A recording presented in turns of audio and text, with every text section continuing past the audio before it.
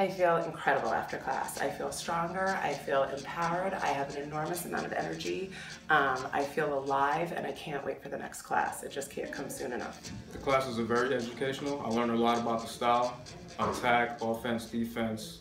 Lost a considerable amount of weight, um, toning your entire body, upper and lower. Um, you know, feel healthier, better cardio. You know, not quite as winded doing normal things. I call my top two abs uh, Sensei Nico, and then it's Sensei Alex, and then Miss Carrie is the bottom row. So yes, the instructors are great. Sensei Nico and Sensei Alex are very amazing. They have a great enormous amount of energy, good vibes, they teach you very well, and just goes along very great in class.